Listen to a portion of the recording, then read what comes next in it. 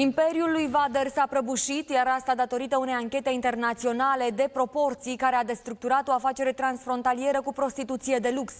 Cine este însă Vader? Un individ de 47 de ani din Pitești, bun prieten cu Adi Minune, care chiar a compus o melodie. Revenind la Imperiul Prostituatelor, acesta cuprindea nu doar România, ci și Marea Britanie, Belgia, Elveția și Cehia.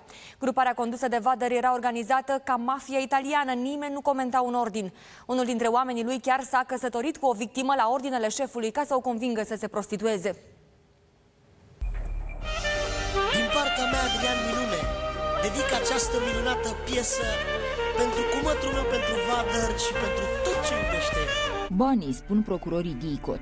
Marius Alexandru, zis Vader, sau Nașul, împreună cu alte 13 persoane, a fost reținut de procuror pe 19 iunie pentru constituirea unui grup infracțional organizat, proxenetism și trafic de persoane. Rețeaua de crimă organizată, coordonată de cumătrul lui Adi Minune, se ocupa cu racolarea de tinere în vederea exploatării sexuale în mai multe state europene, printre care Elveția, Germania, Marea Britanie, Belgia, Cehia și Spania, în zona Ibiza. Proxeneții foloseau în afaceri metoda Loverboy Boy sau Casanova, în care femeia acceptă să fie prostituată din dragoste pentru iubit.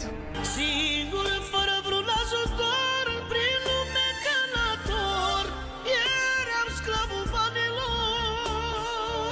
Potrivit monitorizării făcute de procurorii DICOT, gruparea s-a format în 2009 în Pitești, dar Vader ar fi aderat la aceasta abia după 3 ani. Însă în scurt timp a devenit șeful rețelei. De la mine, Bogdan de la Ploiești, dedic melodia anului 2015 pentru unchiul meu, pentru Vader de la Pitești și pentru inima lui. Procurorii spun că proxeneții erau organizați precum mafia italiană și făceau exact ce li se ordona. De exemplu, unul dintre ei a fost nevoit să se căsătorească cu o profesoară de limba franceză pentru a-i câștiga încrederea. Imediat după nuntă, tânăra a fost dusă în Elveția și obligată să se prostitueze. Din cercetările efectuate a rezultat faptul că suspecția a obținut din activitatea infracțională importante sume de bani, doar prin transferuri bancare, obținând suma de circa 5 milioane de euro. Potrivit anchetatorilor, toți proxeneții trăiau pe picior mare. Absolut toți aveau vile și mașini de lux, mergeau frecvent în străinătate și jucau sume importante în cazinouri, iar prostituatelor li se fixa o normă de cel puțin 1000 de euro pe zi. În caz contrar, erau amenințate sau chiar bătute de proxeneți. De altfel, fetele le-au povestit procurorilor prin ce au trecut.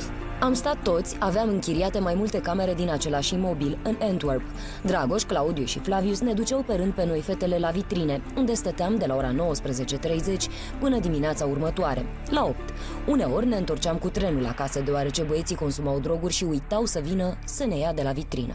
La descindere, anchetatorii au ridicat sute de mii de lei și de valută, 24 de laptopuri, 92 de smartphone-uri, 9 tablete, 500 de grame de bijuterii din aur, un aparat de măcinat droguri, un pistol cu aer comprimat și 4 cartușe de carabină deținute ilegal și 10 de ceasuri de lux. De asemenea, proxeneților li s-a pus sechestru pe două terenuri, 8 autoturisme de lux estimate la 200 de mii de euro și 8 imobile evaluate la 1.200.000 de euro.